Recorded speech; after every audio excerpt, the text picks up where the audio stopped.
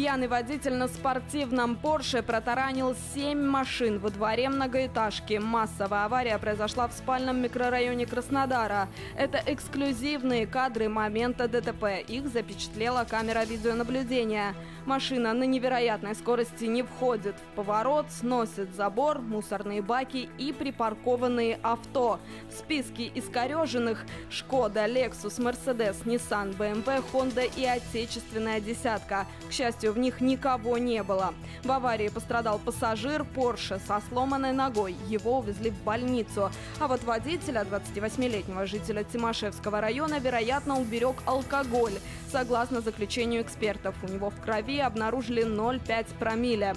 По версии полицейских, виновник аварии приехал в гости к другу. Вместе они выпивали, а потом решили прокатиться по городу. Непутевому гонщику грозит штраф и лишение водительского удостоверения. Организаторы нападения на семью пенсионеров в Новокубанске выдали сообщники. Заказчицей оказалась женщина. Именно она вызвала полицейских, когда зашла к супругам и обнаружила их избитыми. Напомню, 2 февраля в дом 86-летнего ветерана труда ворвались двое мужчин в медицинских масках.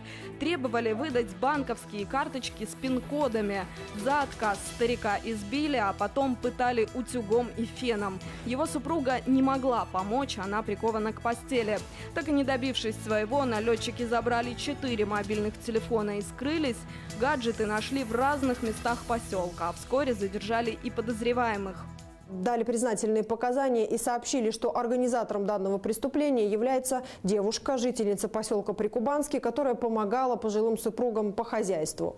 В тот день она вместе с пенсионером ездила в банк для того, чтобы обменять банковские карты.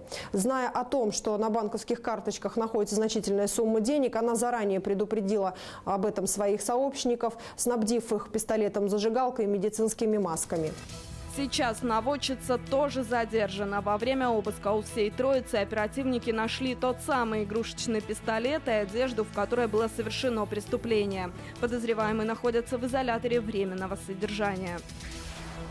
30-летний анапчанин задержан с крупной партией наркотика. На его странное поведение на железнодорожном вокзале Анапы обратили внимание транспортные полицейские. Когда горожанина попросили пройти в дежурную часть, он разнервничался, а было из-за чего. Во время досмотра у мужчины нашли пакетик с веществом, которое, как показала экспертиза, не что иное, как синтетический психостимулятор, в народе называемый соль. Возбуждено уголовное дело.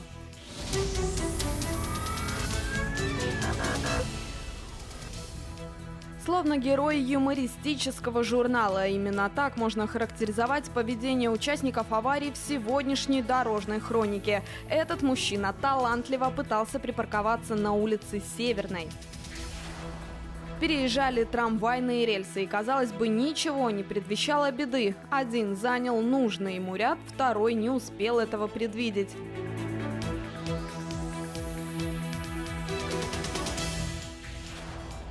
Выезжающий из переулка седан смело двинулся в нужном направлении, несмотря на попутчика. Тот врезался в опору рекламного щита.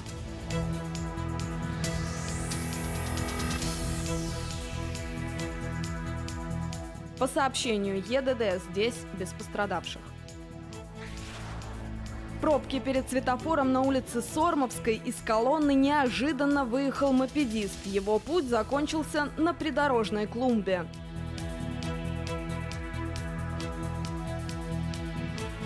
Хозяева поврежденных машин бросились к нему, но бить не стали, а помогли подняться. Совершенно лениво поворачивал джип на улице Тургенева. И вот к чему привел этот вальяжный маневр.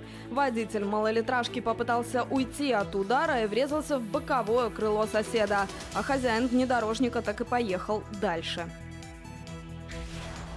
Совершенно невероятным образом завершилась поездка двух автомобилистов по улице Ставропольской.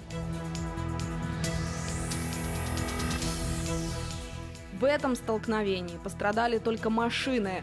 Еще больше аварий с дорог Краснодара вы сможете увидеть, подписавшись на наш YouTube-канал. Thank you.